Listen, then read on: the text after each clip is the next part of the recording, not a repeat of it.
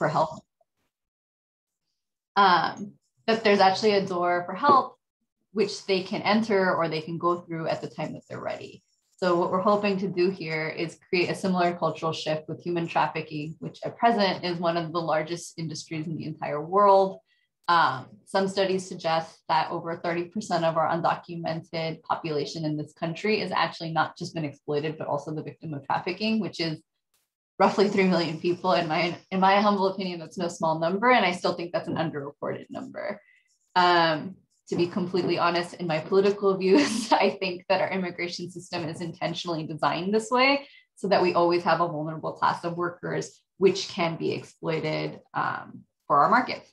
So I appreciate all of you giving your time today to learn more about this topic and perhaps in the capacity in which you interact with immigrant populations, particularly, something here might be useful to you as a red flag uh, for someone who could use more services that actually do exist by law that are that are terribly underutilized only because we're not really identifying this problem as ubiquitously as it's occurring in our populations in our communities in our own backyards. Um, that's kind of my spiel on human trafficking um, and i again thank you so much for your time this evening and learning more about this and uh, we can just get started if there's any questions that come up during the presentation it is divided into three parts. So I would ask that you just save your questions for the end of each part. There's some small interactive exercises that I hope will help cement some of the concepts that we're going to go over today. But this is just a really quick down and dirty of like how how this crime is actually occurring in the modern era. Almost every case every case example I'm using here is actually a case I worked on um, that was positively identified as a human trafficking case. And hopefully this will just give you a bigger idea of how broad the legal definition is and how often we can actually, we're missing opportunities to actually help people get services that they deserve. Before we start, does anyone have any questions? Okay. Um, can you all see my PowerPoint? Yeah? Okay. Give me one second.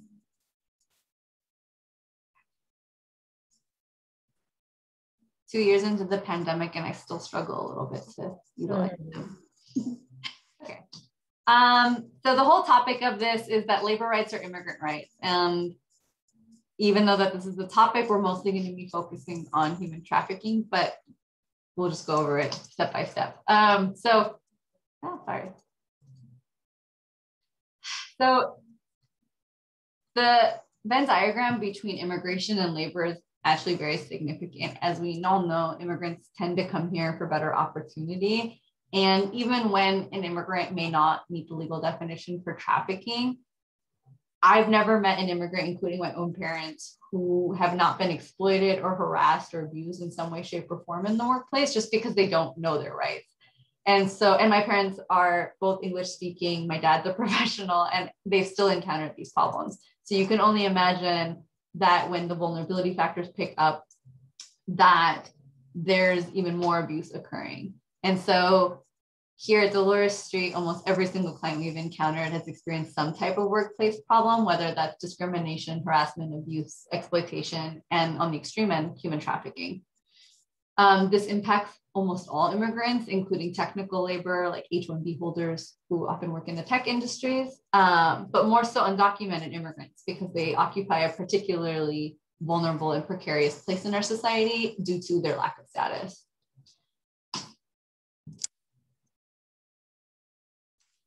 Um, this topic is timely. It's been timely. I think the rise of labor exploitation and trafficking has occurred as gradually as most other discrepancies in our um, in income inequality have increased over the last 20, 30 years. But things to note in terms of this last administration and how bad it got was that from 2015 to 2017 within California, the number of workplace threats that were actually reported related to immigration related retaliation, that is somebody telling you that if you do this, I'm going to call immigration on you, or if you if you try to complain, we're going to report you to immigration.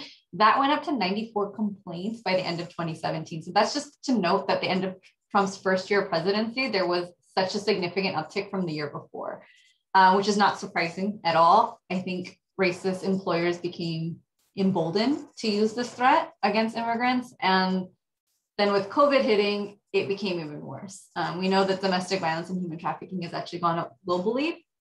And what, I mean, what else do people really expect when there's less jobs and a bad economy? There's just more desperation. So there's more opportunity for those who want to exploit to exploit others. Um, the main thing that I hope you take away from this presentation today is that all immigrants have labor rights regardless of their status, which is something that most people don't realize. Um, and because most of these rights are violated because people don't realize that. But no matter who you are, whether you have status or not, you're still entitled to basic labor rights in this country, which include wage and hour protection. Um, like you should be getting paid the minimum wage, you should be getting overtime, and you should be getting breaks the whole gamut of things that exist for us as people with status also exists for people without status, but routinely this is violated, and we all know that. Today, what I hope you learn is a bit about wage and hour laws, but not necessarily like, oh, in San Francisco, it's 1526 an hour, and in Oakland, it's 1223 an hour. Not like that. Just generally, what are common workplace crimes that occur um, but more so than that, what we're going to do is clarify and learn about human trafficking. And I think there's a lot of misconceptions that occur around exploitation versus human trafficking, like labor exploitation versus human trafficking, uh, domestic violence versus human trafficking, what extortion is instead of human trafficking, and smuggling and human trafficking. So I hope that you have a little bit more clarity as to how these how these crimes often overlap significantly, but there is a very clear line as to what makes one human trafficking and what doesn't. Um, I hope today, by the end of this presentation, you will understand the more subtle ways in which traffickers use force, defraud, and intimidate and trap survivors into performing work and services. And finally, I hope you somewhat develop the skills to talk and educate other community members in a trauma-informed, sensitive way about the things you're learning today. Throughout the presentation, I will be referring to survivors of human trafficking as survivors. Uh, we like to use this language because it tends to be a little bit more empowering than calling someone a victim. Um, yeah, that's just the short of it.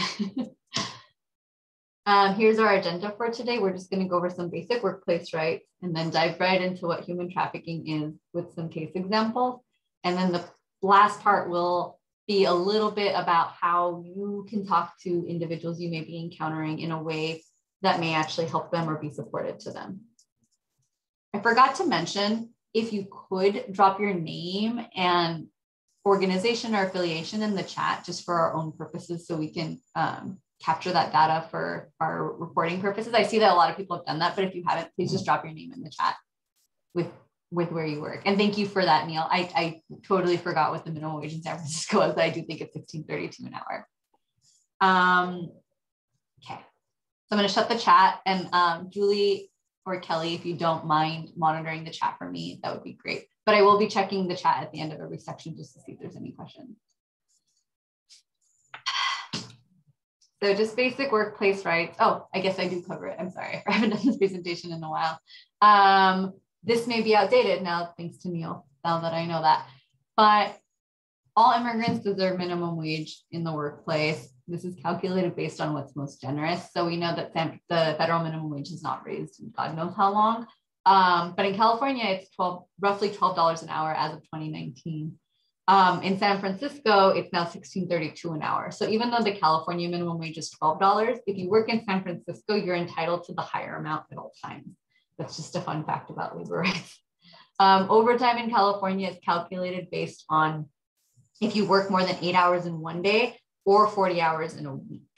Um, of course, there's exceptions to this, as we all know, agricultural workers and domestic workers and certain categories of workers are just not covered in this, but for the most part, if someone works in the restaurants or if they work in construction, these rules should be, should be being followed. Um, everyone deserves breaks. It's a very common thing that immigrants don't ever take breaks. They don't ever take vacations. They don't ever take sick time, but all of those things are actually covered entitlements by law. Um, other forms of labor exploitation that often occur, labor wage and hour violations that occur is that there's a delay in payment, there's bounce payments, there's illegal deductions that occur from payments, um, including for things like reimbursement for supplies or uniforms, which should always be supplied by the by the employer. But based on us working with immigrants, we know very often they buy their own safety equipment, um, and that's completely illegal. Other workplace rights that are just really common, maybe too common for you and me, is that everyone has the right to a safe and sanitary working environment. Your workplace should not be hostile or uncomfortable in any way. I can't tell you the number of immigrant women that have told me that they've experienced some type of sexual harassment or advancement in the workplace um, and don't do anything about it because they just don't realize they can. Um, any discrimination based on race, language, gender, nationality, or status is completely illegal. Um, contracts should always be given in native language and signed only after conditions are understood. And it is completely illegal for employers or companies to retaliate for work related complaints. But again, they frequently do. So does anyone have any questions before we continue at this point? Um, I I do. Is that Kelly? Sorry, let me turn to gallery view. So I just want to make it extra ultra clear. So even if someone doesn't have a work permit or work authorization via immigration or immigration status, they still have a right to all these things. Mm-hmm. It's it's a really I think it's super when I learned it, I was shocked, obviously, right? But it is true. So like anyone who works in any kind of industry in the any kind of legal industry, I should say, in the US. So yeah, if you work as a dishwasher in a restaurant in San Francisco, you should be getting all those rights like respected and they shouldn't be violated. And if they are violated, even if someone's not a victim of trafficking, this is kind of like the thing that I like to tell people is that we should be screening for these things anyway, because we know the exploitation part is absolutely happening all the time. And I think it's really empowering for immigrants when they hear that these are their rights and like it should never have happened to them that they weren't paid on time or they had to pay for their own equipment or they weren't given breaks and that there's recourse. Because at the end of the day, I think economically, even recuperating wages lost or money lost is a really powerful thing to someone who may be living paycheck to paycheck. And at the end of this presentation, I actually do have a referral for just like good old labor exploitation where you can refer clients to for consults for, for employment and labor issues. Uh, for the purpose of this training that we're going to be focusing on the immigration side of things or how to identify human trafficking for immigration purposes. Um, but yeah, everyone has these rights. no matter who they are. Is there any other questions? Sorry, just to follow that, what did you mean by whether it's a legal industry or not? I will get into that. So illegal industries, so trafficking can occur in legal or illegal industries. And the best example of an illegal industry in which trafficking occurs is, is prostitution, right? Um, so anything that's underground, anything that is not documented is is considered like an underground um, form of labor trafficking. Uh, I'll, I'll, go into an example of that, but like a classic example of that is people who are forced to peddle or beg, which is actually very common. um, and that's it's not necessarily an illegal industry uh, because begging is not illegal, but it's an underground informal sector of society where people are still forced to work and their wages are somehow being collected if that makes sense. But I'll, I'll be clarify that a little bit more in a second. Thanks. Marlon, did you have a question? I saw you, your hand go up. No? Okay. um, again, the chat is off for me, but I will check it at the end of the section. So what is human trafficking and what is it not is the fun part. So these are some common myths about human trafficking that people often say to me. Um, and there's a huge list of them. So this is a two page slide, so bear with me. Um, people often think that human trafficking only involves sex work, but the actual legal definition is sex is commercial sex, people forced into commercial sex or providing their labor or services. So there's this entire bucket of labor trafficking, which is actually three and a half times more prevalent than sex work. And yet people just don't even recognize that that's also a crime that's occurring against people, even though it doesn't involve any type of prostitution or commercial sex. Um, people often think that human trafficking involves sexual or physical violence. I will say the vast majority of clients I've worked with over the last seven years as a licensed attorney have not experienced any kind of sexual or physical violence. It is often present in a lot of cases, but the majority of my cases in which someone was positively identified as a victim of trafficking did not involve any kind of like physical touching or harm to the person. Um, people often think that victims of human trafficking are mainly women or children, and I think that's neatly folded into the myth that human trafficking is just sex work. Um, again, the vast majority of my clients, and this is mostly because I focused on this, have been men forced into labor trafficking. Um, victims of trafficking have no freedom of movement. And in this slide, I'm using victims just because it's the myths page. So just FYI. um, victims of human trafficking have no freedom of movement.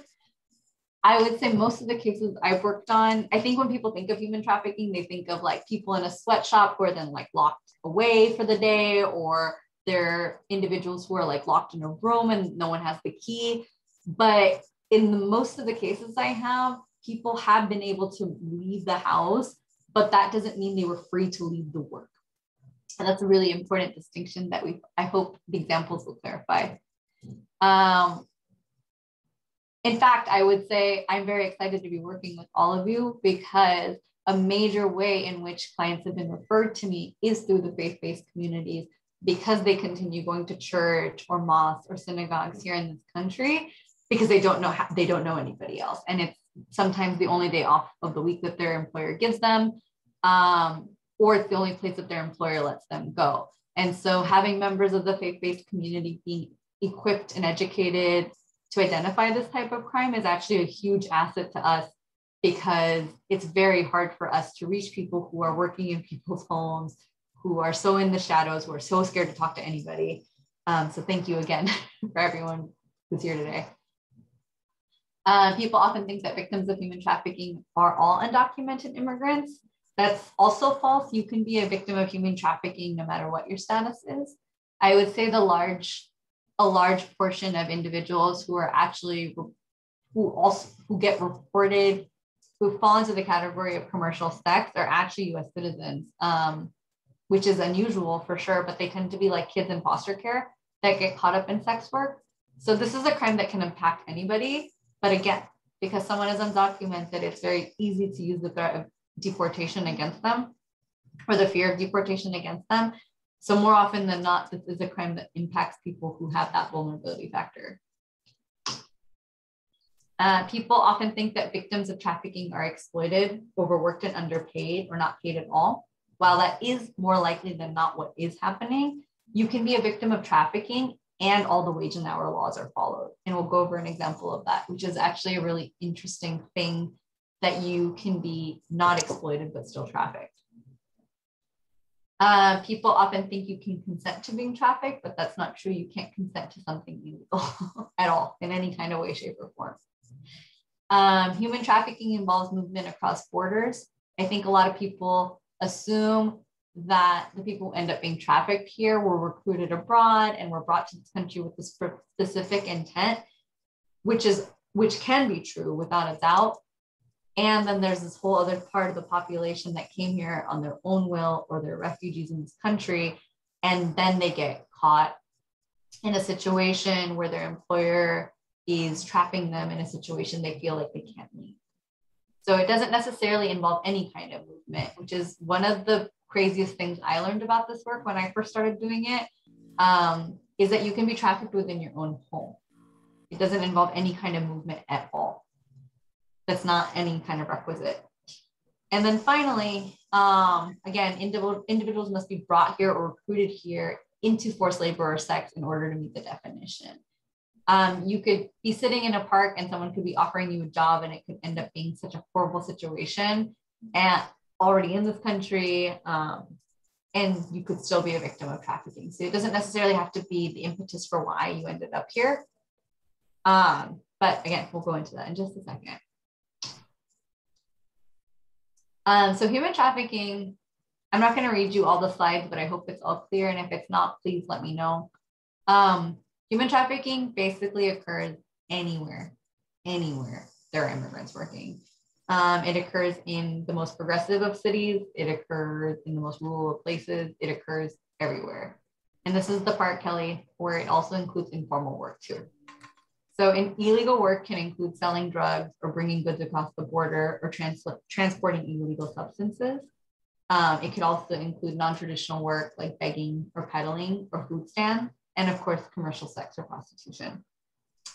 Because my work focuses largely on people who have had contact with the criminal justice system, most of my clients have been forced into some type of illegal work, more likely than not selling drugs. And it's really crazy to me how often just not even asking the right questions, like, did someone force you to do this, land somebody in federal custody and then in deportation proceedings and then deported, all for crimes they were forced to commit, which is outrageous to me, but it is currently the way in which our criminal justice system is working. So, who are traffickers um, in our modern era? They're not like some evil guy with a mustache who's like trying to scheme and like has like, you know, it's not like some nefarious person that we're looking out for. The actual definition is anyone who knowingly benefits from the forced labor or services. So I think the important thing is to look to the person or entity, sometimes a corporation or company, exerting control over the survivor and ask how are or were they leveraging their control or power over that individual. I think when you start with that framework, it makes it a lot easier to see who the characters are in play and therefore make an assessment over whether or not someone may fall into this category. It could include other undocumented individuals, family members, companies, owners of businesses, criminal enterprises like drug cartels, or governments and politicians. Um, uh-huh. Sorry, did someone take themselves off mute? Does it does it always include um, the threat of deportation? Is that part of it? No, it doesn't always. Inc- I'll go over that in, in in a later slide. I just keep referring back to that because it's it's the most innocuous type of threat that one could get. Like it's not physically harming you. It's not saying I'm going to kill you. It's saying like I'm going to call immigration on you. And even though that may seem really like innocent or just kind of like something in passing that one would say, it actually creates a crazy climate of fear in someone's mind who's undocumented, who thinks this employer will legitimately call immigration on me if I stop working for them. And that is like kind of the mental prison that's created in a trafficking situation. And we'll go into examples about that to like clarify what I mean by that. But I keep referring to that because it is so common and yet getting that type of threat actually elevates this crime from something like exploitation or extortion or smuggling into trafficking. If that, and I'll clarify. I'm sorry if I'm not being exceedingly clear right now, but I will in a second, hopefully. Um, I've so I've worked on cases where where different types where I've had like the husband be the trafficker, which is a crazy thing with domestic violence and human trafficking. Um, I've had other undocumented individuals traffic other undocumented individuals. We've had companies and corporations do this. I think a really big case in San Francisco um, involving Hyatt, whatever big hotel is right on Embarcadero, it's either the Marriott or Hyatt or one of them. Um, they were using um, H2B workers, which is unlicensed, it's sorry, excuse me, unskilled temporary workers they had like a they recruited laborers in Mexico and they brought them to Hayward and they were staying in Hayward and then they were being transported every day to Embarcadero to work in construction um, and then transported back to this warehouse in Hayward. And that was basically their schedule every day. So they were here legally, they were here on a legal visa. They were working for a legitimate company. Um, on the surface, everything seems like it's being followed. But then when you actually talked to the men about the things they were being told, it was very much like they had no choice but to abide by these like conditions and standards because they were so scared of the consequences if they stopped working or they tried to complain.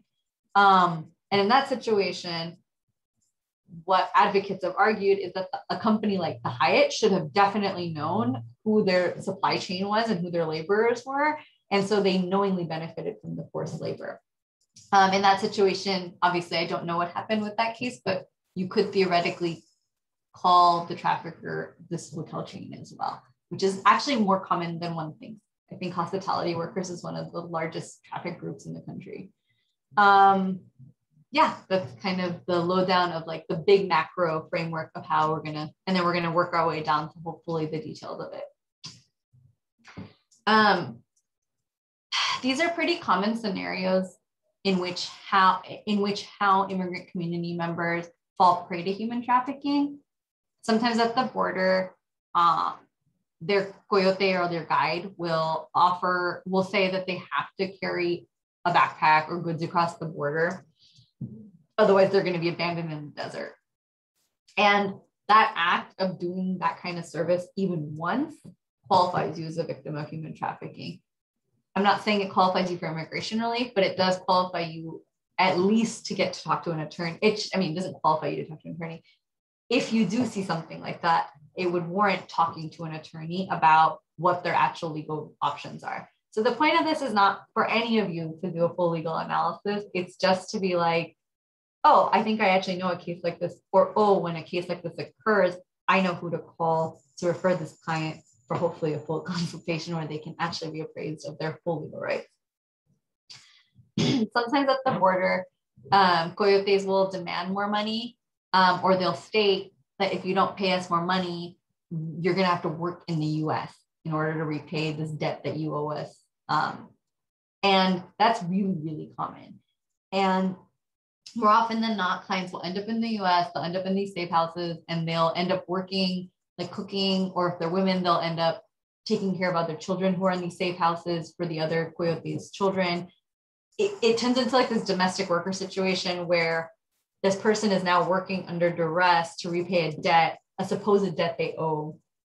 And that again, it's human trafficking. It's a form of domestic work that someone's forced to do against their will, where they're actually trapped and they have no other option. Um, in the US, survivors are lured into jobs under certain promises, but the reality will be. The reality situation is different than the promises made. Um, in the US, survivors are offered help, um, food or housing, bond payments, legal status, and then tricked into situations. I actually have a number of clients, not a number, but I have a few clients right now that I'm working with who had their bond paid by like a random third family member or like a excuse me like a third party friend or somebody like that um, and so they were released from jail or immigration detention. And this person who paid their bond then you leveraged that against them and said like you owe me. Like i did this for you now you owe me. And that's actually really crazy how common it is. And you can only imagine how hard that must be if you're in jail and someone's offering to help you and then later on they use that against you. But it is unfortunately more common than we think it is. Um, and then finally, another common scenario that often occurs in my in my practice is that survivor family members or relatives um, force them to re- force them to work in repayment or a debt or loan incurred for that person traveling to the U.S. So in a lot of situations with refugees who are very desperate to leave their country, family members or friends in the U.S. will loan them money or like help them get here, or even sometimes like coax them into coming to the US saying like, oh, you can find a better life here. I'll help you pay. But then as soon as the person's in the US and like separated from their family, separated from their culture, isolated, um, the tables turn and those family members end up being the people that abuse them again in this country in even more heinous ways.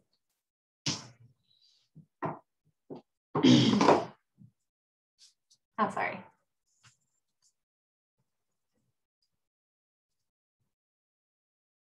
Are there any questions at this point before I continue on? I know I'm going kind of fast. I just wanted, I just, just a uh, uh, organizational question. Are you going to be sharing the slides with us? I can definitely do that. Okay, good. Then I'll, I won't have to write as much. No, please don't write as much. You can definitely have my slides. Thank you, Art. So how do traffickers or abusers overpower and maintain control over immigrants? And this is where we're going to go into the threat of deportation a little bit more, Marlon, and hopefully these methods of control will clarify the very very like subtle ways in which power actually is being leveraged in these situations. Um, so the legal definition says that you have to be providing these labor or services under force, fraud, and coercion. Force is, is the using of physical force or sexual abuse, um, isolation or confinement, including withholding of a passport. I think a lot of times people don't realize that when you take someone's ID document away, it's actually kind of like taking their ball and chain and like holding them hostage with it. Um, other ways of force that I've seen in my cases is like monitoring movements or having cameras to watch work. Um, and then finally, controlling where someone lives or who they speak to. So sometimes traffickers will require that someone lives in a certain house or place, um, or they'll be over vigilant about who that person is talking to, or make a lot of warnings that they shouldn't talk to anyone here, that they shouldn't trust anyone here, that anyone could be the police here. Um, and so I think the big question with force is that were there any physical barriers actually preventing this person from leaving the situation? If you're like encountering someone in your in your congregation or in your communities and they kind of are showing some red flags, I think this is like a really important question to ask yourself is just like, oh, does this person actually seem like they physically cannot leave the situation for some reason? Uh, fraud is kind of the way I like to conceptualize it is just false promises or obviously things that lies, basically, basically lies. Um, this could be false promises regarding employment, gaining legal papers, wages, working conditions, love, marriage, or even a better life. Um, a situation could start off very loving, as as many of you probably know in domestic violence situations, that could be the situation as well, like a parallel example and then it could get worse over time. So it doesn't need to be like bad from the get go. It could eventually become a human trafficking situation. Um, and these are all different types of false promises that abusers have used in cases I've worked on to lure someone or to keep someone from leaving. So I think a good question to ask yourself as, as to whether there was fraud involved is was what was promised in the reality situation different than what the individual expected? And then this is the big catch-all is coercion and intimidation. Um, coercion is actually defined legally as, I'm not going to get into the exact legal definition, but conceptually the way coercion is framed in law is any harm, like anything that would cause harm to someone who's reasonably situated in the same situation. And what that means is, is that did the person genuinely believe threats or false information that their abuser was telling them? And that is why they continued to work, even though they wanted to leave. And more often than not, in almost all our cases, that includes threats to immigration or deportation or the police. Then, of course, I think other threats are like a little bit more obvious, like I'm going to hurt your child, or I'm going to take, I'm going to take your mm. children away, I'm going to gain custody of your children, or I'm going to like kill your kids abroad, right? Like those are very obvious types of threats that would keep someone there. But the big one is actually like, I'm going to call immigration against you, or I'm going to have you deported, that are very, very, very common in immigrant communities and immigrant workplaces.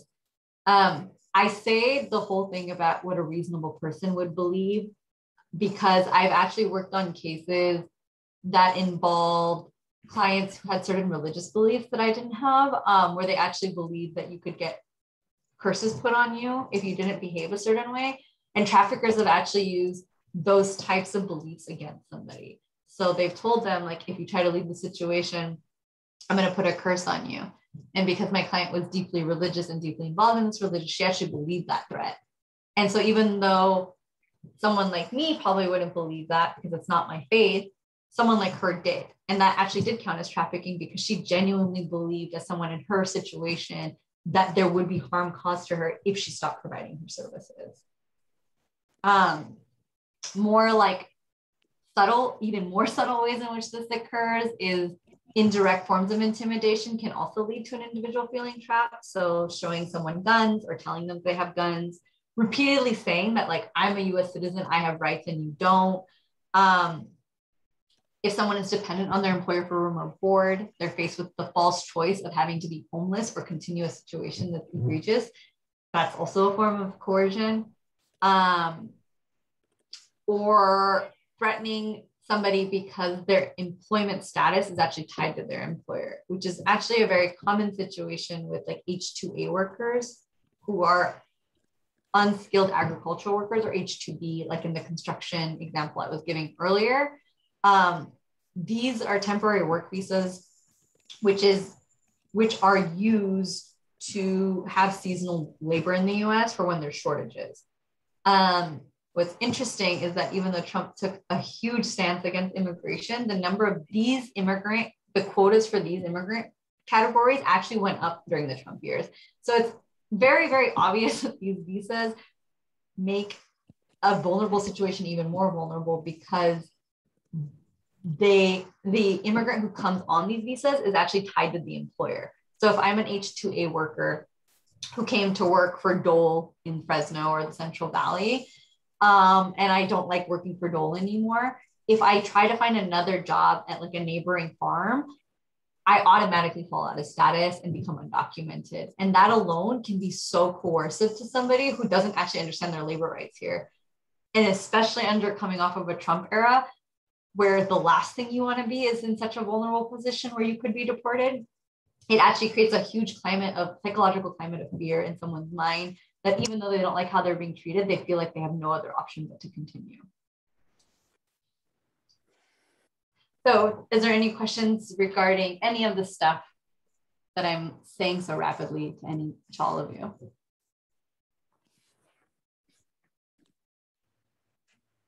Kelly, you took yourself off mute. Do you have a question? Well, I'm just processing it. I thought it was interesting. It says dependent on employer for room and board. Mm-hmm. So wouldn't it be normal that if someone stops working somewhere but they're getting room and board that that room and board goes away? It is really normal. I think so it's not necessary. I think for you for your purposes of like just like red flagging something and referring red flagging an individual as a potential survivor or like even somebody who's potentially just faced a bad work situation I like to flag the dependent on work employer for and board because it it is kind of a false choice, right? To tell somebody like I'm going to treat you really badly, but you really have no other option of where to go. And it's not necessarily going to qualify somebody for a T visa, which is a traffic a special visa category um, for survivors of trafficking in this country, but it will get them to a consult with an attorney who can actually make a full case analysis of it. And more often than not, when someone is dependent on their employer for room or board, they're likely to be in a more desperate situation to continue doing something they don't want to be doing. It's not necessarily like every single person who's dependent on their employer for room and board is in a situation like this. It just creates an additional factor that that could like raise my, it would raise my red flags. If someone was like, "Oh yeah, I'm living with my employer and I really hate my job," I would be like, "Oh, that's interesting." you know, if that makes sense and then i mean it would obviously if you really wanted to go into the nuts and bolts of it it would actually go into more like is that employer using the fact that you live with them against you? How are they using like that would be like my consult process with them. Um, but for now we just want to actually raise all the red flags over all the various things that make someone feel really desperate to stay in a situation they don't want to stay in. Kelly um, we may have had that situation which drove uh, one of our uh, families that we were, you know, accompanying to IM4HI. Um, that may have been their situation before they came to us, and, and you know, IM4HI was the remedy to get out of that situation. Yeah. Julie and Neil, you both raised your hands. Do you have anything further? Go ahead. Well, I guess you might be get, going to get into this, but I just um, am really interested in if, you know, if we, if it's discovered that there is a situation like this, that actually that can help people to have a, a valid reason to be able to, to legalize their status here. And I, is that true? Like, could you clarify your question a little? Sorry. Uh, sorry. No, well, you're good. You're good. If, if somebody is a victim of human trafficking, um, labor trafficking, might that be a way apart from like seeking asylum or something else? It's a, a way to legalize their status. Are you going to talk about that? Yes, I will. I will definitely talk about that. I'll talk about all the legal remedies that are available for someone who's actually positively identified as a human trafficking survivor.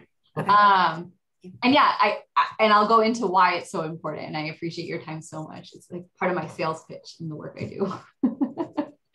um, are there any other questions? Neil, you also had your hand up. Was it just to comment on the, the situation you knew about? Okay.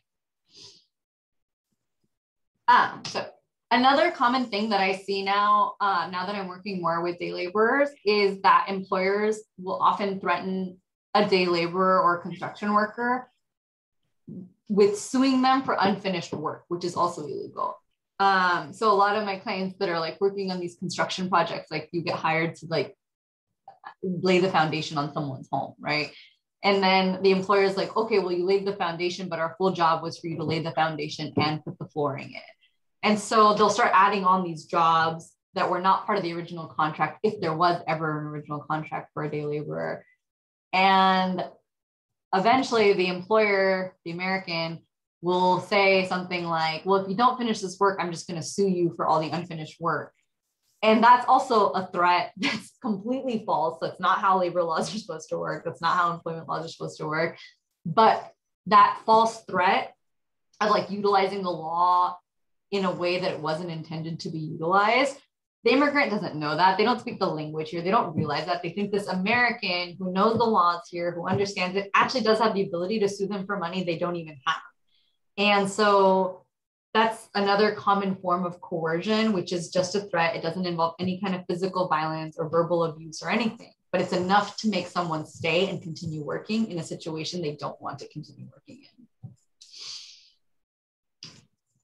So here is a case study that we're going to work on together. If you could take a, like a minute to read this through, um, we'll talk about what you all think is the forced labor that's occurring and how this employer might have kept Van in the situation, in a situation that he did not want to be in.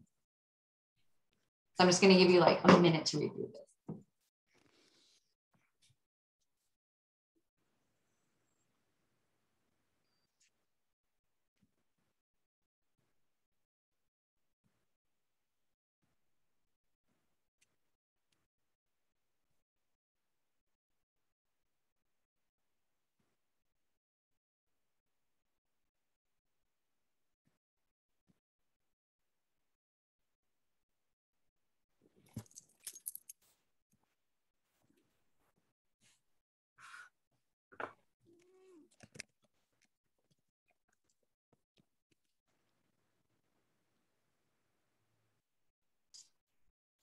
Is everyone ready?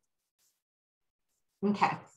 So just you guys can all just blurt it out or like take yourselves off mute to let me know what in the situation, what kind of labor was Dan actually forced to do? Like what are the labor and services in this case example?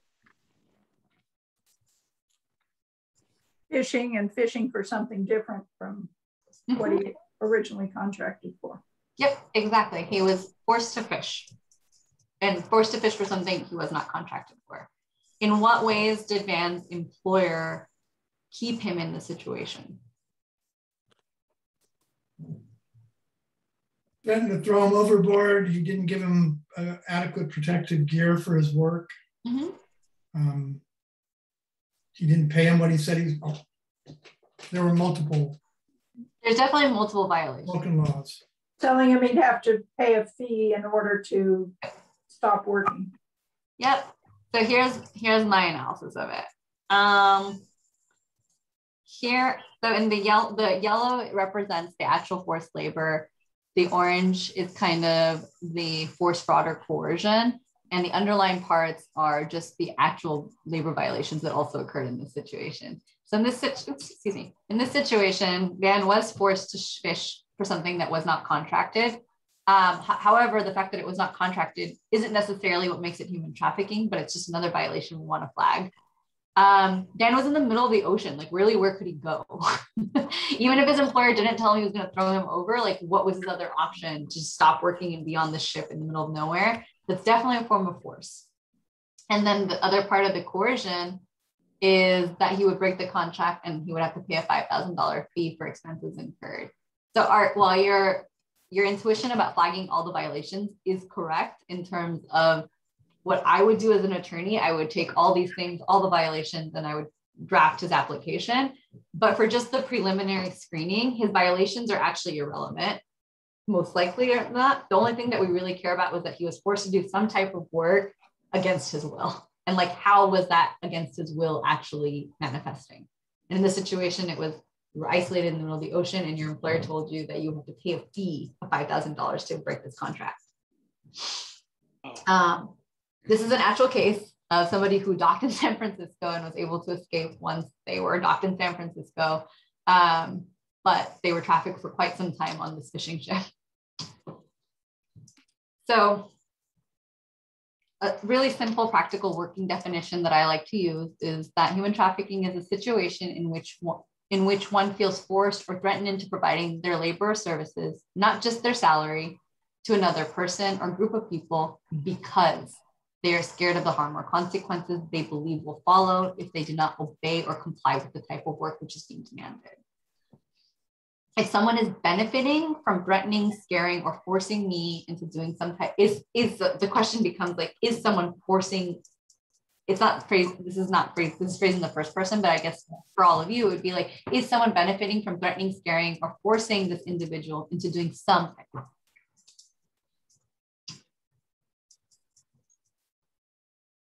Um, here's another case example. It's a little longer, so I'm going to give you a full minute to read it, and then we will talk about it.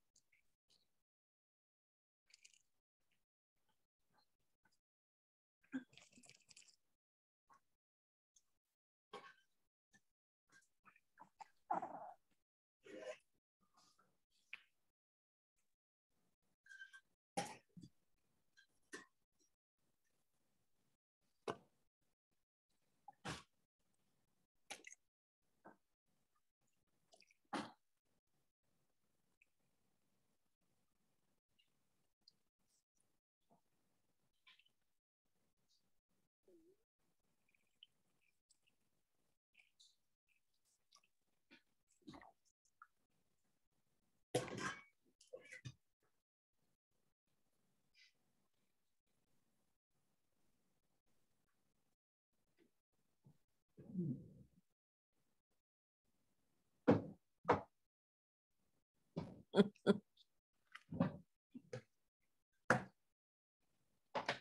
going to give you, make some space by giving you this. All right. So I can't see everyone's screen because I'm on full screen right now. But in this situation with Radhika, who do you, what do you think the labor starting backwards? What was the labor and services provided? It could be multiple things. She could be doing multiple jobs. Taking care of children, cooking, cleaning, bathing, mm -hmm. laundry, yard work. Is there anything else that she was forced to do? It sounds like that was probably it. Well, drop off and pick up children and run errands. Okay. And how how did Mr. Surya keep Radhika in the situation?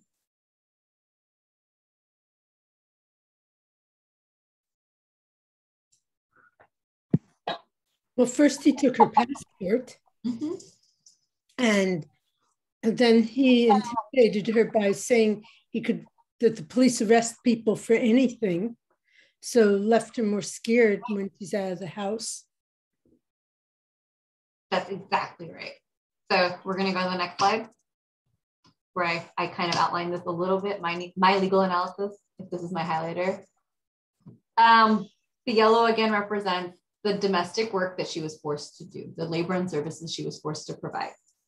The orange represents the various ways in which she was controlled. So yes, he confiscated her passport right away, um, which as we went over earlier, taking someone's ID is actually a very, definitely a form of force under, force under the law.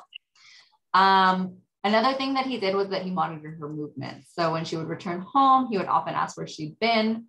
And as you said, she he he basically instilled a fear in her that the police could be anyone and that you should be really scared and be careful who you talk to. So it created an iso- like a, a situation of isolation around her where she actually didn't talk to anyone. She did go to church regularly, but she didn't talk to anyone in this situation. Um, she's entitled to wage and hour relief as well as immigration.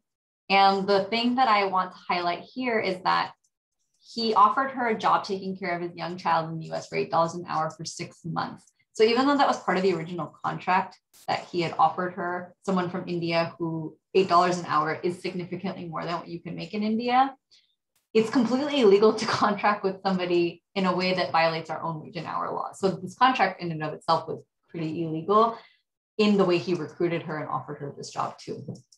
Um, again, not something that you need to go into analysis about, but just just various red flags that occur in these cases that when I hear facts like this, I immediately am like, okay, like something fishy was going on here.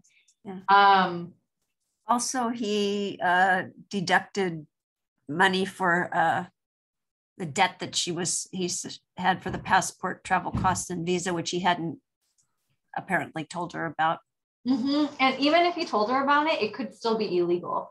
So, yeah. like, dedu- again, deductions for like things like room and board or for travel costs, or even for deductions for like protective equipment. All of that to me, when I hear it, like when I'm just talking to people in the community, it automatically raises red flags that something more fishy could have been going on. And this person is entitled to a consult to see if there was something more fishy going on in their particular case. Um, this was actually a case I worked on in New York when I was still a law student, and it became like a huge case with the Indian government because uh, her the consulate officer who was trafficking my my client who was working as a domestic worker started threatening her family in India, and it became like this huge thing. Um, but a good example of somebody who entered here on a legal visa, an A1 visa, who was trafficked by like an actual government official and who, for the most part, didn't have that many wage and hour violations, but still could not leave their situation by any means and felt exceedingly isolated. Um, so this is the tricky thing that often a question gets asked to me is like, is something trafficking or is it just exploitation?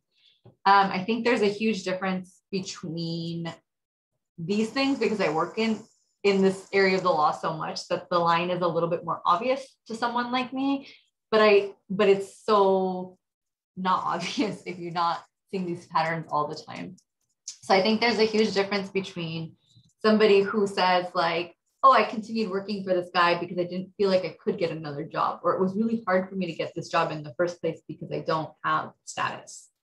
Um, versus someone who says, my employer said that if I tried to get another job, I would be blacklisted or deported.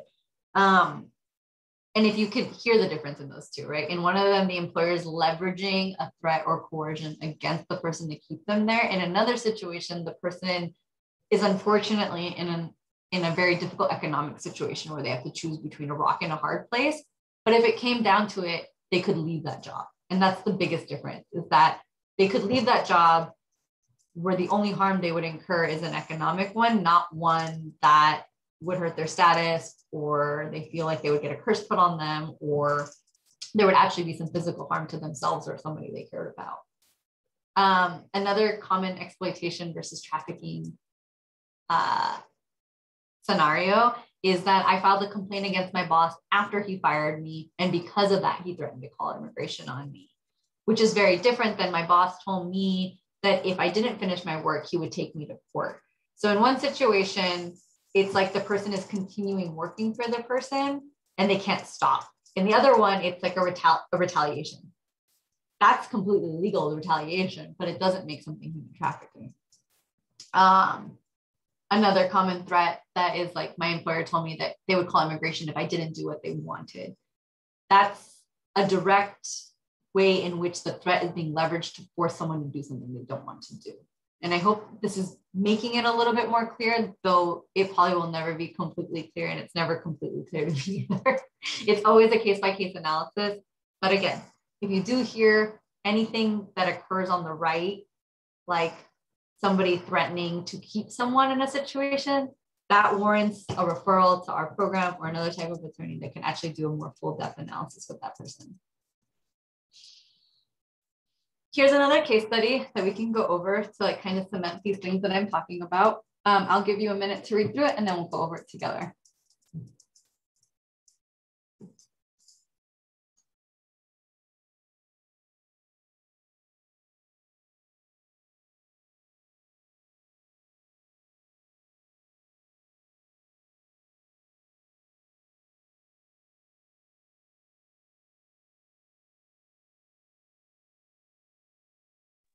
Can you make it bigger?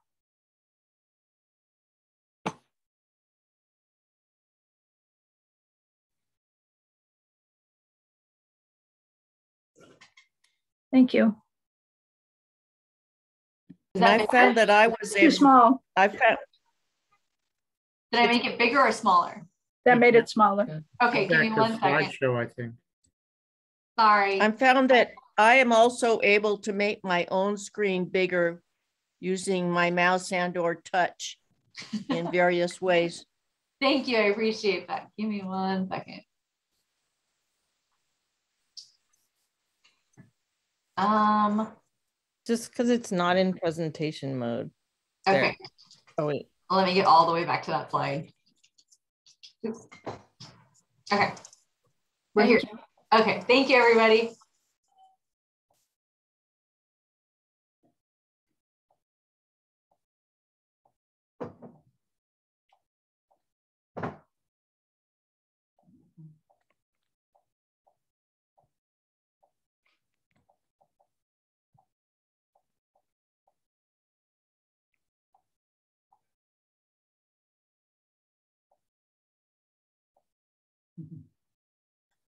Look at all those faces. I did that, of course. You can do everything you want. You can express any. So what type of labor or services was Alex providing? Well, it's providing, you know, manual manual labor and for a great deal, and he received a great deal less pay than was offered. Mhm. So it was on false false promises there. Um, he also had the substandard living. Um, not that who knows what he'd been promised about that, but um, and then the the uh, being and then he was charged, of course, deducted for transportation for which he had no other way of getting to work. Um, and then he lived under um, a constant threat that if he didn't do his work, if he ever took a break, that uh, or or took too long to eat, um, he had no recourse. He also had no freedom from where he lived. Those are all very true, for sure. Um, does anyone else want to talk about any types of coercion or force or fraud that they see in this this pattern?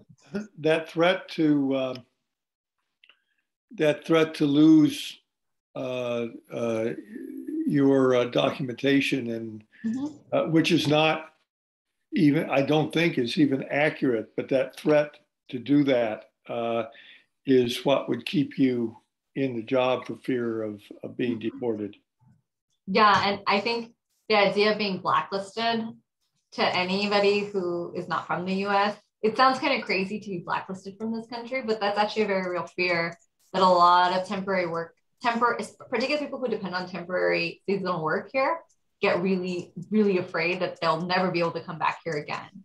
Um, and then that fear can become even more compounded when their trafficker requires them to pay for travel costs because they more likely than not took out a loan to pay for travel costs if they're unable to completely pay if they are not unable to earn US dollars at any point in time. Um, so there's a lot of a lot of violations in this case, this real life case scenario. Um, but I'm just going to show you what it's like when you take away a couple facts and how much it changes the fact pattern. So in this situation, we took out the fact that he was not required. He was offered a place to live. Um, and it wasn't substandard. We don't even know what it was. In the situation, we have no idea what his facts were. Um, and that he was not transported to work every day. Um, they also we also taking out the fact that they threatened to to blacklist him if he if he didn't continue doing their work, and that Alex had no way of leaving the warehouse. So in this fact pattern, we changed a lot of things that are really subtle, but it actually makes a huge difference in terms of doing a trafficking analysis. In this situation, there's still wage and hour as well as labor violations occurring left and right. And this person should definitely talk to an employment and labor attorney but as far as it rising to the level of human trafficking, when you take out certain key facts, um, there is no more force, fraud, or coercion in an obvious way. Perhaps there is. Perhaps he could talk to an attorney and there would be something coming up that's not doesn't fit on the slide. But I hope the crossing out of certain things kind of gives you an idea of how when you take away certain facts, it can actually change the whole pattern and analysis of a situation. A question? Mhm, Why, why would you do that? Why would you remove those factors which which seem to be to allow the um, the migrant a much less opportunity? So Um, yeah, in this situation, I was just doing it to illustrate that if like th- these things weren't a part of Alex's story anymore, that he was actually just somebody who was recruited, who was offered a place to live, who worked 14 hours days on this hotel renovation project, getting $8 an hour. Um, but he wasn't actually like trapped. He was able to leave the situation. He was still being exploited, but the key difference here is that he, there was no like climate of fear being created around him or isolation around him where if he wanted, he could actually leave the situation. And I think that's the biggest thing in doing a human trafficking identification is like, could this person actually leave? Why or why not? Um, another thing that we talked about earlier is a very common way in which immigrants end up in these situations. And as I talked about earlier, two common scenarios are at the border, the guide or coyote will make the person carry something across the border. Um, and or they'll tell them that they owe more money. And so they'll have to pay back that money by working in the US. Um, those two things that I just said, that you'll have to work in the US or that you'll have to carry something for us across the border, the carrying something across the border is a form of work and services. The working in the US is a form of work and services. Whereas with smuggling or extortion, that type of labor and services is not actually present. It's, and I'm going to go into this a little bit more, but I'm just talking broadly about the ways in which some, what we're talking about when we say forced labor, ethnic like border cases. Um, Smuggling is different than trafficking. Smuggling is actually when you smuggle someone into the US, it's a crime against the border, whereas trafficking is a crime against the person. Um, you can be somebody who smuggled into this country and a victim of trafficking, but they are not, they're not the same term, is the only thing I really want to emphasize right now. Um, hopefully this case example will clarify what I'm saying.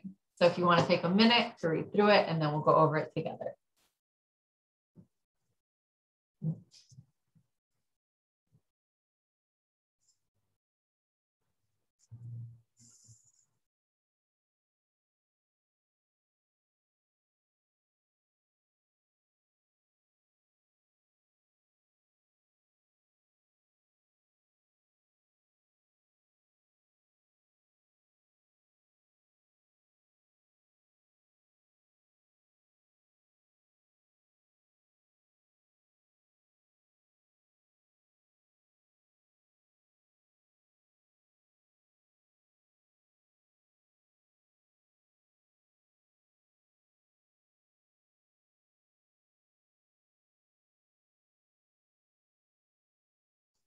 All right.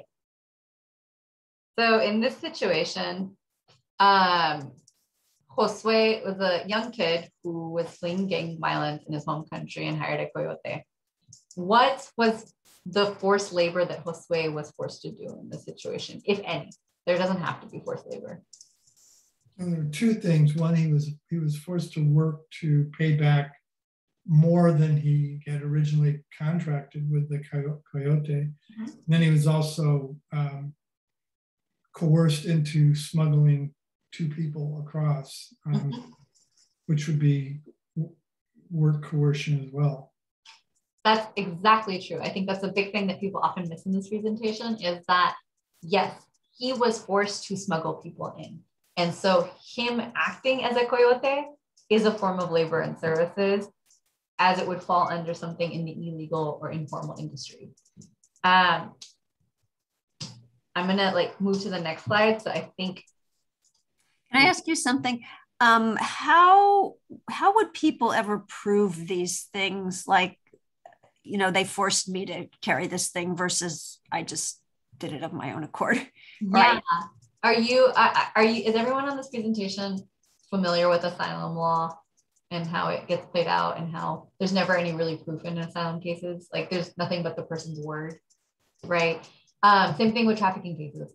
When you're filing for immigration relief, the it's even it's even nicer than asylum because there's no interview or adversary, adversarial process.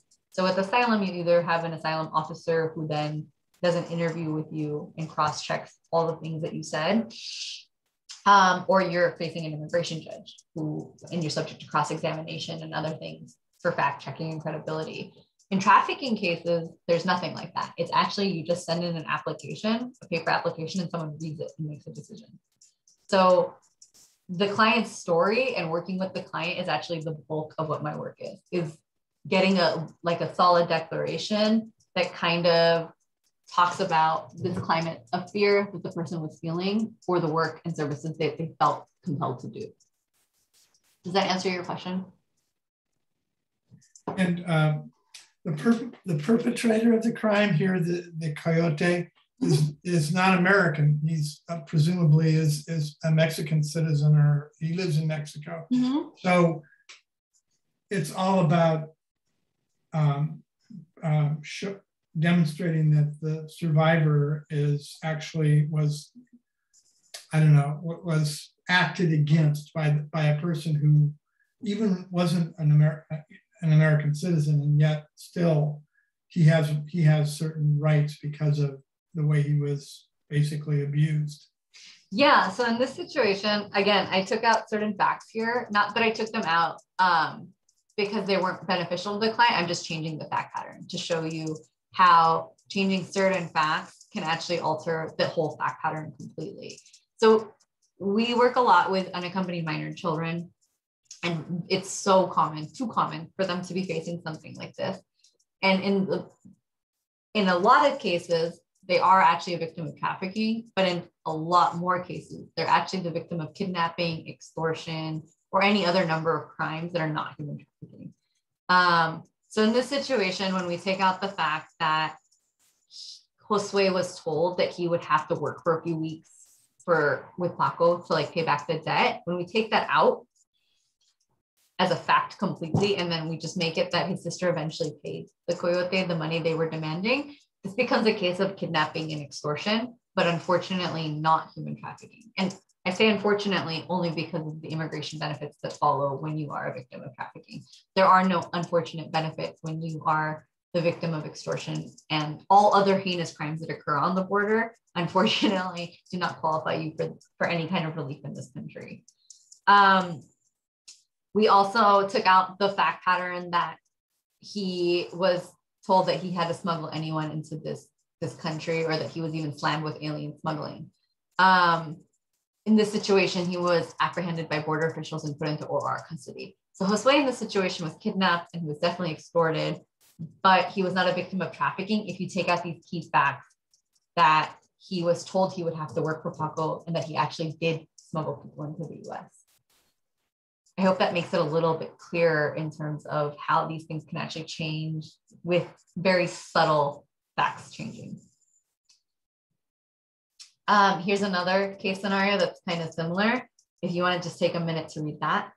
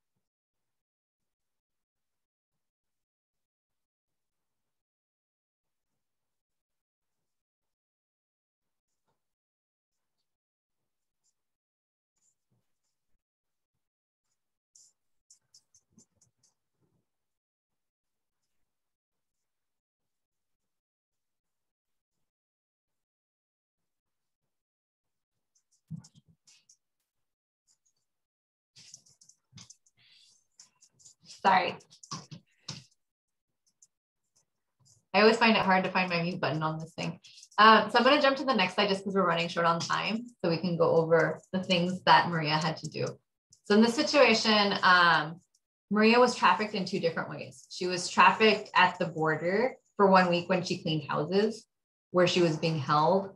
Um, and then she was trafficked again in the US in Oakland after she started living with her husband and he would arrange jobs for her collecting arranging jobs for her cleaning where he collected all her payments.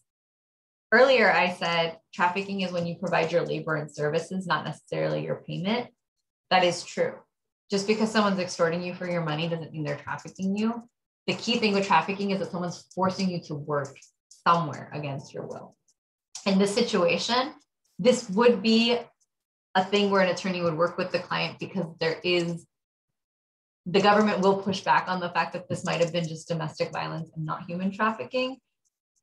But because her husband retained so much control over her in other ways, and he was the one exclusively finding these jobs for her, he was, in a sense, eliciting her labor and services for his sole benefit. Um, and all the orange kind of highlights the ways in which he did that. He would threaten to have her deported. He threatened to have full custody of her children. Um, he would make her scared of the cops. All of these things were ways in which her partner utilized false threats of the legal process against her to make her believe that she would suffer real consequences if she didn't keep doing these jobs he arranged for her and keep giving him her wages.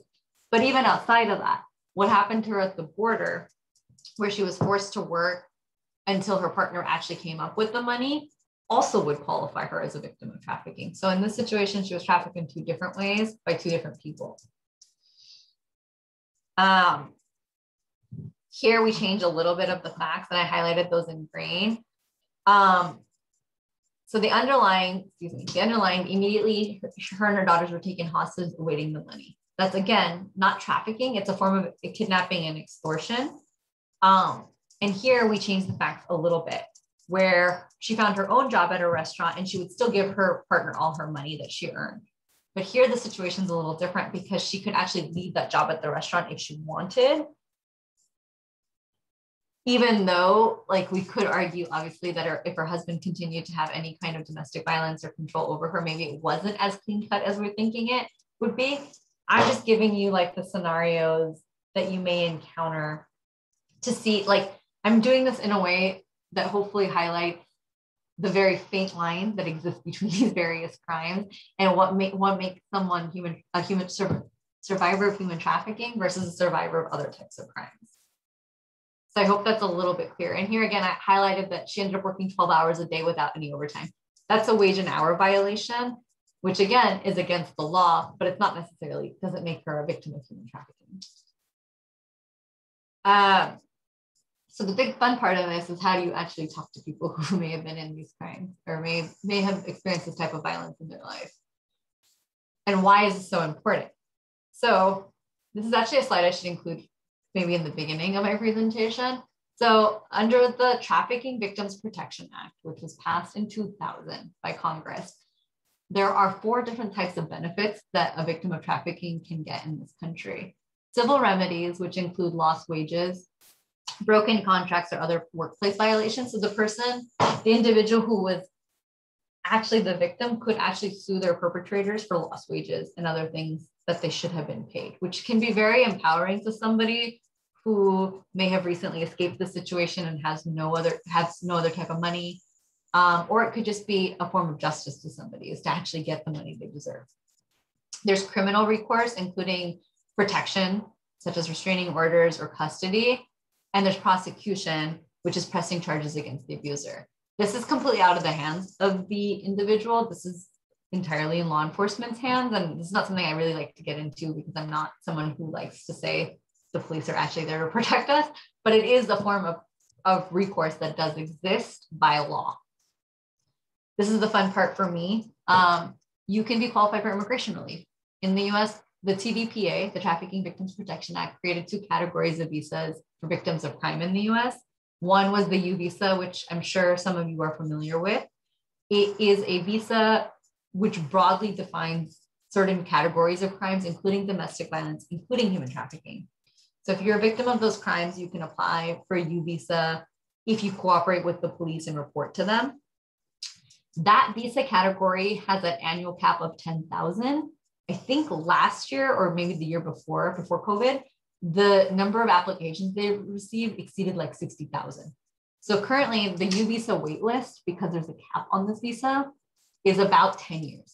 So even if we apply today and our, our client is completely qualified for this form of relief, it will take them 10 years to actually get any kind of documentation, which is crazy. The T visa, which was created in parallel with the U visa, but specifically for victims of human trafficking, has an annual cap of 5,000 and it's never been reached. So the most applications ever filed was in 2014, I believe, and it was roughly 1,100 applications. So this visa category has existed for 20 years and it's never reached the cap that Congress thought it would reach annually, which to me does not indicate that this crime is not occurring. It to me it indicates that we're really not doing a good job screening for this type of crime, especially considering this form of relief pre-Trump used to get adjudicated within six months.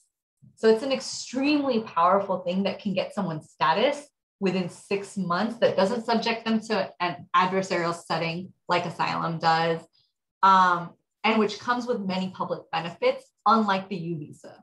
So in California, as soon as I positively identify someone, me as an attorney, positively identify someone as a victim of human trafficking, I can actually write a letter to social services where in California, they're entitled to start getting benefits right away for eight months without any kind of status which is incredible for someone who's trying to leave a really broken situation for them to get housing support, medical support, house, uh, money support, case management support is huge. And this is like such an undertapped pot of money that's been allocated for this population that again doesn't access this, this type of money or these services because they themselves no immigrant is like, oh yeah, I'm a victim of human trafficking. If you and I don't understand this like nuanced area of the law, it's really beyond someone to ever label themselves this way and like proactively seek services.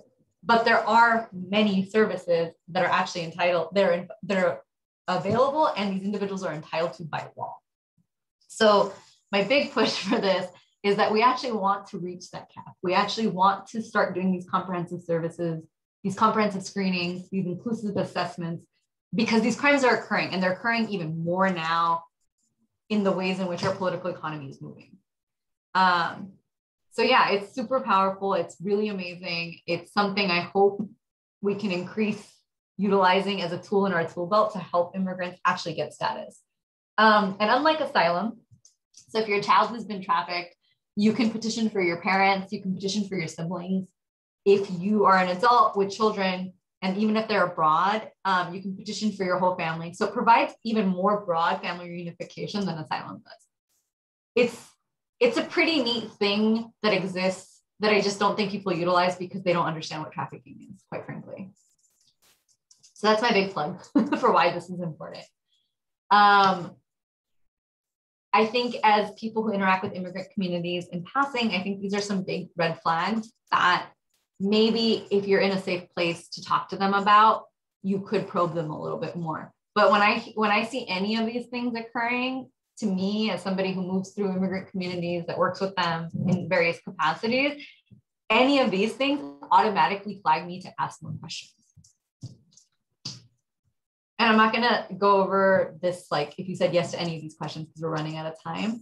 Um, but I think the big question is do you know someone who has felt scared or unable to leave their employer or stop working in a particular situation because they were scared of the consequences? Um, we have two case examples here that I'm not going to go over just because we don't, we're not, we're running out of time. But that's kind of like the macro question that we should all be carrying in our heads. is like, was this person in a situation that they felt they could not leave because they were scared of the consequences? And what were those consequences? Um, I would suggest, as always, not that I have to tell this particular group something like this, but to be humble in your role. So it's to inform, not give legal advice. Um, do not make judgments or decisions for others. Like even if someone's in a horrible situation, it's not our job to like be like, you need to get out of this, right? It's our job to show them that there is a door, that there is legal recourse, and that there actually are attorneys who will have their back should they choose to leave the situation or should they choose to get help.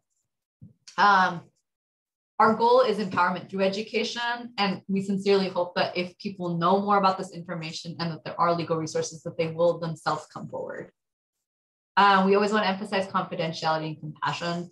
Be mindful of how you're speaking. So using words like survivor or vic- versus victim can be uh, more encouraging for someone to talk to you. There's no need to ask personal questions when you're when you're trying to make an uh, like a snap judgment identification of someone. And I think we should always meet our community members where they're at. So if someone is just like clearly in a bad situation but doesn't want to talk, it's not our job to push them. Um, these are kind of introductions I like to use in the field. Um, I am an attorney, but these are these are things that I suggest to other people when they're doing outreach, how to talk. That like I'm not an attorney, but I'm trying to educate people in our community, or even illustrating through example. Here in the US, it's super common. It's actually super the reason why we incentivize migration the way we do is to actually exploit and, and trap people in these labor situations. Um, if we had more time, I would actually ask all of you what your introduction would be, but we're kind of running short on time right now. But I promise I will share my slides. Uh, I think this is another way in which we can make people feel more comfortable to come forward. I think lessening the shame or the humiliation or the guilt someone might feel that they were actually at fault for the situation that occurred to them can be really empowering. Um, I like to tell most of my clients that even though their situation is unique and their trauma is unique, unfortunately, this is a very common thing that occurs to many people from their community. And I think just hearing that and normalizing it as this should never have happened to me and I shouldn't carry this like extra burden is actually very helpful in creating rapport about this type of work specifically. Um, and of course, always acknowledge and thank somebody for sharing something really difficult with them, even if it's something that we cannot conceptualize that would be difficult to us. Going back to the example of somebody who, my client who thought she would actually get a curse put on her. Um, that's not something that I would necessarily have a lot of feeling toward because it's not something I would fear. But of course, we can always understand and have empathy towards fears that we may not carry.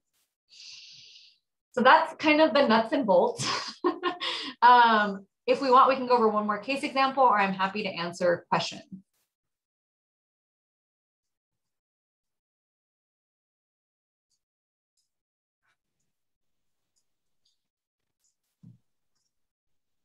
Do you think that you, Aradna, are uh, like a specialist in human trafficking problems and, and the legality of it in, in the sense that, you know, would any of the lawyers that we do have contact with or speak to, immigration lawyers, also be totally up to speed on the same things you talked about tonight?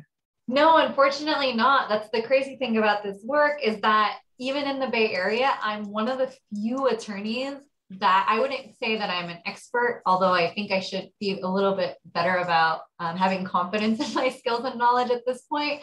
Um, I would say I'm always learning. There's always like a new fact pattern that opens my eyes to the various ways in which force, fraud, and coercion are actually occurring in, mo- in the modern era. And I will say in the Bay Area, I am one of like a few attorneys that get most of these referrals because most attorneys themselves don't understand how broad force, fraud, and coercion can be um, as defined by law. And I think as attorneys, we kind of become anxious in terms of sticking to our lane. So, because not that many attorneys across the country do trafficking work, this tends to be something that falls on the few practitioners that have kind of created a niche for themselves within it. But one of the goals of our project is to build capacity, to increase the confidence of other attorneys so that they are able to do these inclusive assessments and utilize this tool more proactively. A big thing that I'm trying to do more often than not right now is actually increase screenings in detention centers because I think there's so many people in detention that are actually just qualified for T visas that we're completely overlooking because we're not asking the right questions. And they're at the end of the line, right? They're like about to get supported. They've probably served even longer sentences than they ever should have, being in for-profit prison, um, which is its own trafficking situation in and of itself, but we won't go into that today. Um, I would say you should definitely, the way I like to tell, uh, because obviously I can't absorb every single trafficking case that occurs or that comes my way. The thing I like to tell clients during a consult is that you need to bring this up to your attorney proactively. You should say that I think I might be qualified for a trafficking visa because these things happened to me and I want you to explore it. I think when I'm in immigration court and I'm doing consults rapidly, it's kind of something I tell people like when you find a private attorney, make sure you bring up the T visa to them, kind of thing. Because then that way, the attorney who, whoever the private attorney is doing the consult will be like, oh yeah, I didn't think about that. Maybe I could do that. Like I'll figure it out, kind of thing. But if we're not asking the right questions, our clients aren't going to be answering the things we want them, the things that actually can help them or be probative to them. Um, I'm curious, where can we refer people we think might benefit from a consult? I would say, I thought I have a slide in here about that, but let me see if I do. No, I don't. For immigration, you should refer them to us. Um, but unfortunately, we have not secured funding to continue this project yet. We're hopeful that it comes in soon, but I'm not sure what that means in terms of the whole landscape of how this project is going to get thwarted. But for now, please reach please reach out to me, and I'm happy to do a consult with anyone you think may benefit from getting a more in-depth assessment. For wage and hour violations like overtime pay, breaks, deductions, et cetera, et cetera, Legal Aid at Work is the main nonprofit that I refer clients to because they have free phone consultations. I'll drop that in the chat. Yeah. Um, if you have other referrals, if you want to send it to me, I can send it out to everyone who was signed up for this. Thank you. I, I'll definitely do that. Okay. Thank you, Julie. And for the Dolores Street referrals, do they have to live in San Francisco? Definitely not. That's like the big win about my grant is that I've been trying to actually do more outreach in Contra Costa and Alameda County and even further because in my humble opinion, I love San Francisco, but it is oversaturated compared to other counties where immigrants actually live and are not getting services. Um, no, we, we have no geographic restrictions. We have no criminal restrictions. They could be detained, non-detained, anything. But to keep things um, kind of somewhat focused, we focus almost exclusively on labor trafficking and almost exclusively on people who have had contact with the criminal justice or immigration justice system. So that means they have immigration court or they've had some kind of arrest in the past. Got a quick question. Um, not actually a question, but uh, seeking a, your comments and thoughts on a wage and labor violation issue. Okay. Um, new immigrant doesn't have a work visa, uh, asylum seeker, uh, is willing to work for um, under the table uh, for a wage less than minimum wage. Mm-hmm. Um, hence is why I know what the current minimum wage is because uh, I just looked it up a couple days ago. Uh-huh. Um, kind of, what's your thoughts of that situation? And I've seen it before too, right? You get paid cash um, and as long, you know, a decent wage, but under minimum wage, most likely. Uh, no other violation, assume no other violations. Um, what's your thoughts? I mean, you know, you can tell the person that they could work for minimum wage and that's the law, but uh, they're asking their employer to not follow parts of the law so they can get cash, you know. Um, so they uh, get paid under the table. Get paid under the table, yeah. So, what's uh, thoughts? Uh, I mean, that's a realistic situation. I've seen it many, uh, several times, including last couple days.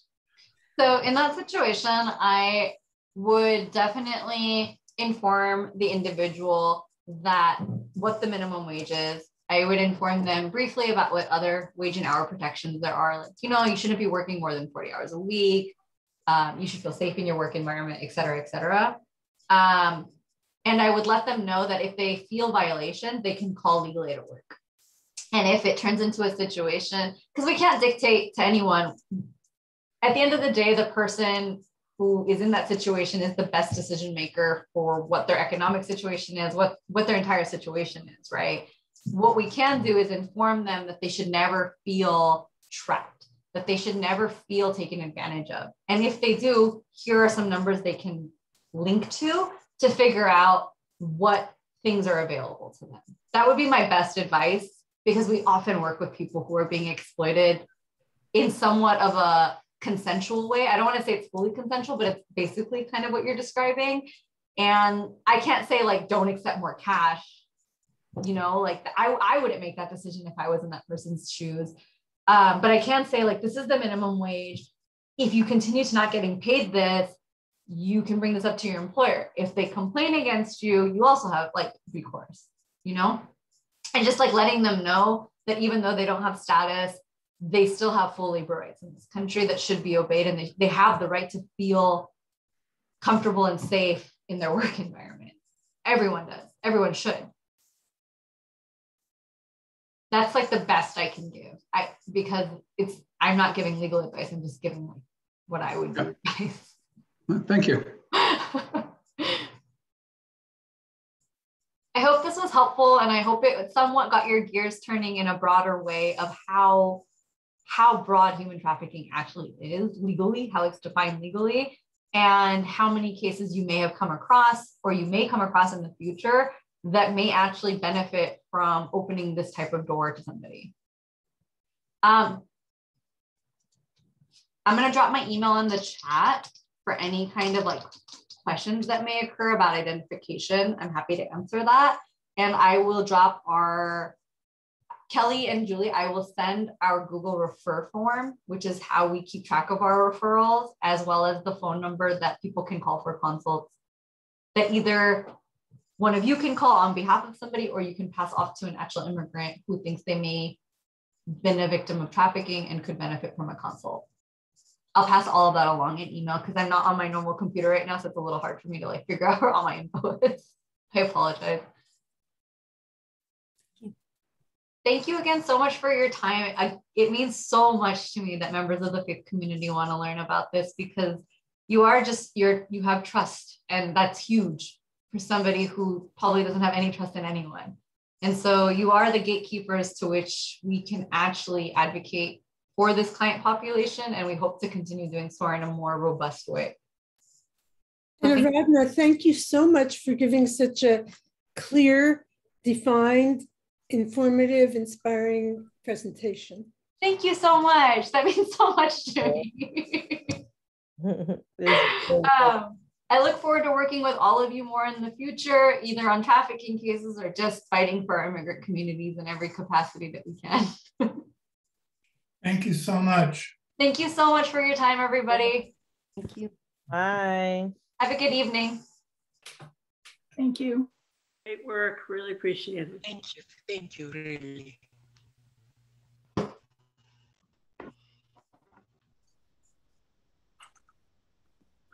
You can probably turn off the recording, Kelly. Oh, yeah.